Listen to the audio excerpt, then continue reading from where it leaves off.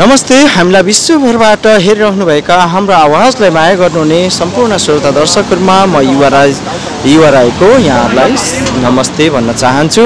र आज पनि म हङकङको कस्बे र वान्चाइको बिचमा रहेर हङकङका केही गतिविधिहरूको बारेमा र यहाँका घटनाक्रमहरूलाई लिएर तपाईँहरूको बिचमा उपस्थित भइसकेको छु। र हङकङमा लगभग एक महिनाबाट भएका केही गतिविधिहरू यहाँका आन्दोलनहरू र यहाँका घटनाक्रमहरूलाई लिएर म आज कोसेली एचके डट कमका फोटो पत्रकार गणेश पूर्व छाने मगरसँग चाहिँ म केही कुराकानीहरू गर्न गइरहेको छु र उहाँलाई म केही कुराहरू यहाँका घटनाक्रमका बारेमा केही कुराहरू उहाँसँग प्रस्ट्याउने कोसिस हाम्रो आवाज मार्फत तपाईँहरूलाई गराउँदैछु। र गणेशजी नमस्ते। अ, अहिले हङकङमा एक महिनादेखि भइरहेका आन्दोलनहरू चर्किरहेका छन्। के तपाईँलाई यसको विषयमा केही विषयवस्तु समाचारहरू र तपाईँले बुझ्नुभएका केही कुराहरू हाम्रो आवाज मार्फत केही कुराहरू पस्याइदिनु सक्नुहुन्छ कि?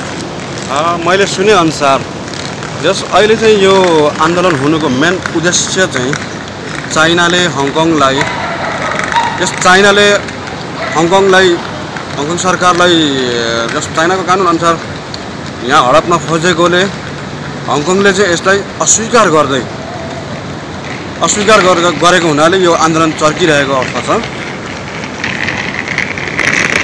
साँच्चै भन्नुपर्दाखेरि जसरी चाइना चाहिँ अब आ लगभग लगभग ब्रिटिस र हङकङको जुन पहिले सम्झौता थियो बाइस पच्चिस वर्षपछि त पक्कै पनि हङकङ चाइनाले नै लिन्छ भन्ने कुराहरू चाहिँ यहाँ हामीले सुनिरहेको छौँ। हाम्रो साथीभाइहरूबाट हामीले सुने अनुसार चाहिँ तपाईँलाई जसरी अहिले चाहिँ सिफुरवती सन्धि चाहिँ लागू गर्न लागिरहेको छ र क्यारी ल्यामलाई ल्यामले चाहिँ संसदमा चाहिँ जसरी त्यो एउटा लागू गर्न लागिरहेको छ त्यसको विरोधमा चाहिँ निस्किएको भन्ने कुराहरू चाहिँ छ। कतिको यो जाइज कुराहरू तपाईँले थाहा पाउनु भएको छ? मैले मैले पनि सुनेअनुसार यो चाहिँ साँचो नै हो। र मैले सुनेअनुसार यस ब्रिटिसले चाइना र हङकङ बिच सम्झौता गरेको पचास वर्षको पचास वर्षको अवधि हो तर अहिले चाहिँ पुरा भइसकेको पुरा भइसक्यो या भइहाल्यो त्यो मलाई अलिकति कन्फ्युज उम्, पुरा हुनलाई अझै पनि बाइस वर्ष बाँकी छ। हङकङमा र अहिले नै आवश्यक छ र यो आन्दोलनको केही निष्कर्ष निस्केला? मेरो विचारमा आवश्यकता छैन तैपनि अब हाम्रो विचारमा त यो सही निर्णय निस्के त हामी सबैलाई हङकङवासी सबैलाई राम्रै हुने थियो। हेर्दै जाउँ अब कहाँ कुन मोडमा जान्छ यो आन्दोलन? गणेशजी म एउटा कुरा तपाईँलाई के सोध्न चाहन्छु भने यो आन्दोलनले यहाँ जति पनि नेपाली बसोबास गरिराख्नुभएका छ। अनि जति पनि अब जस्तो अब एउटा सिर्जन उलिएर नेपालीहरू यहाँ धेरै नै हुनुहुन्छ के यसमा यो आन्दोलनले नेपालीहरूलाई केही के केही असरहरू परिरहेको छ या छैन? होइन अब सुनिन्छ नेपालीहरू पनि यो आन्दोलनमा चाहिँ संलग्न हुनुहुन्छ भनेर। के यो यो बिल्कुलै यो आन्दोलनमा नेपालीहरूको संलग्नताको खाँचो छ या छैन? मेरो विचारमा त अब हामी हङकङमा बसिसकेपछि एकतर्फी रूपले खाँचो त छ तैपनि मैले सुनेअनुसार अस्ति युनलुङमा पनि नेपाली प्लस पाकिस्तानीहरूको संलग्न थियो। त्यसैले गर्दाखेरि हामी नेपालीवासीलाई एकदम असर त पुर्याएकै छ। सकेसम्म हामी यसबाट बचेकै राम्रो। साँच्चै नै हाम्रो आवाज मार्फत आज तपाईँहरूको बिचमा हाम्रा गणेश पूर्वाचार्य मगरज्यूलाई मैले निम्त्याएको छु र उहाँ एच कोसेली एचके डट कमका फोटो पत्रकार पनि हुनुहुन्छ मिडिया पर्सन पनि हुनुहुन्छ।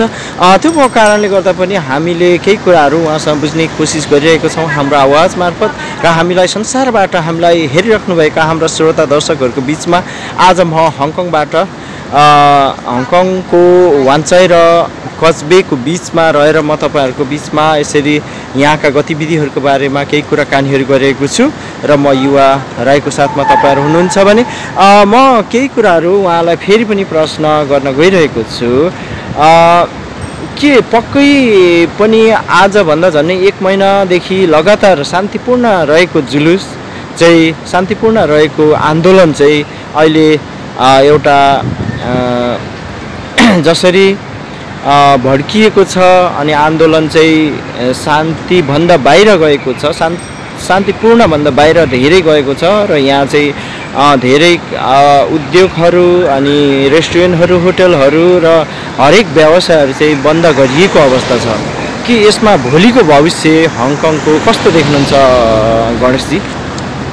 अब मेरो विचारमा यसरी नै यसरी नै आन्दोलन चर्कि नै रहने भने हामी अब यो काम गरी खानेहरूलाई काम गरी खानेहरूलाई चाहिँ एकदम मर्का नै परेको छ। फर इक्जाम्पल एउटा उदाहरण लिनु न। भोलि नै मेरो काम छ। अब अहिले नै यसरी देखि तपाईँहरूले देखिरहनु भएको छ यसरी बाटो सबै पुरै बन्द छ। न त एउटा केही गाडी चलेको छ न त केही चलेको छ। यसरी नै अब यसरी बाटो बन्द भन्दा भोलि हामीलाई काम गरी खान साह्रो हुन्छ। मैले बुझेअनुसार चाहिँ अब नेपालीहरू धेरै नै मर्का चाहिँ मर्का नै परेको छ।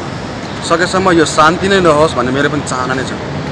पक्कै पनि गणेशजी तपाईँको बुझाइमा अनि तपाईँले देख्नुभएका यहाँका घटनाक्रममा आज हामी यो ठाउँमा उभिएर हामी एउटा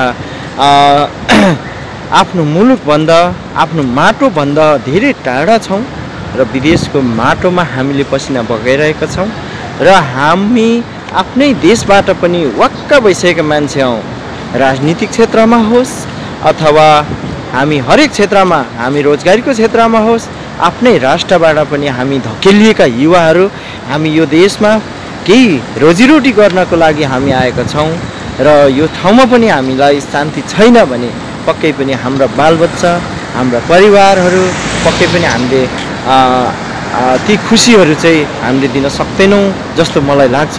तपाईँको मनमा चाहिँ तपाईँको विचारमा के यो सत्यता कस्तो छ तपाईँ? ओके यसै विषयमा मैले एउटा सानो मेरो मनमा लागेको कुरा भन्न चाहेँ है। जति बेला म नेपालमा अध्ययनरत थिएँ त्यति बेला मैले एउटा हाजिर जवाफमा भाग लिएको थिएँ। त्यसको शीर्षक थियो धन ठुलो कि विद्या ठुलो?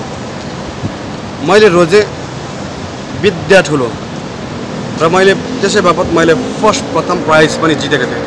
तर आज म लाचार छु कि त्यही धन विद्यालय लत्याएर म यहाँ यो हङकङको ठाउँमा विदेश भूमिमा म यसरी धनको पछि लागेको पनि म झन्डै उन्नाइस बिस वर्ष भइसक्यो।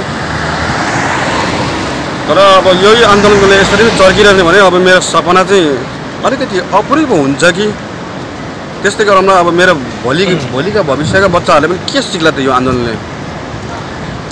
पक्कै पनि हामी आज यहाँ रहेर हाम्रो गणेशजीसँग केही भलाकुसारीहरू गरिरहेका छौँ र हङकङका घटनाको बारेमा पनि केही कुराहरू गरेको छौँ। र पक्कै पनि हामी युवाहरू यसरी विदेशमा छौँ र आफ्नै देशबाट हामी वाक्क भइसकेका मान्छेहरू हौँ र आन्दोलन अनि हरेक आन्दोलनहरूमा हामी सामेल भइसकेका थियौँ र हामी फेरि पनि हामीले सोचेका थिएनौँ हङकङमा पनि यस्तो आन्दोलनहरू हुन्छन् र यो आन्दोलनहरूबाट हामी पनि मर्कामा पर्छौँ भन्ने कुराहरू। तर आज हामी प्रत्यक्ष रूपमा काम गर्न सकिरहेका छैनौँ यो ठाउँमा। र हाम्रो धन धनजनको क्षति धन हाम्रो आफ्नो ज्यानको पनि सुरक्षा यहाँ छैन। र पनि हामी आफ्नो ज्यानको सुरक्षालाई पनि हामी बाजी राख्दै यहाँका घटनाक्रमहरूलाई तपाईँहरूको बिचमा प्रस्ट्याउने कोसिस गरिरहेको छु म युवा राई र हाम्रो एचके कोसेली एचके डट कमका फोटो पत्रकार गणेश मगरसँग म यसरी कुरा प्रत्यक्ष रूपमा हाम्रो आवाज मार्फत जोडिरहेको छु। र पक्कै पनि हामीले चाहेका शान्ति हो शान्ति हो र त्यो शान्ति पक्कै पनि हामी जहाँ गए पनि हामीलाई। शान्ति नै रहोस् भन्ने कामना गर्दै आजको डेस्कबाट तपाईँ समक्ष म हाम्रो आवाज मार्फत तपाईँहरूलाई जति कुराहरू हामीले निम्त्याएका छौँ जति कुराहरू हामीले बोलेका छौँ त्यो कमै हुन सक्ला तर पनि म एउटा कुरा के भन्न चाहन्छु नि हङकङवासी जति पनि नेपाली दाजुभाइ दिदीबहिनीहरू हुनुहुन्छ। बिल्कुलै यो उहाँहरूको आन्दोलन हो र विशुद्ध उहाँहरूको आफ्नो देशको एउटा आन्दोलन हो र यसमा तपाईँहरू कुनै पनि सामेल नहो भइदिनु होला। यो सूचना पनि हामी जारी गर्न चाहन्छौँ हाम्रो आवाज मिडिया मार्फत। र जाँदा जाँदै हाम्रो गणेशजी के भन्न चाहनुहुन्छ?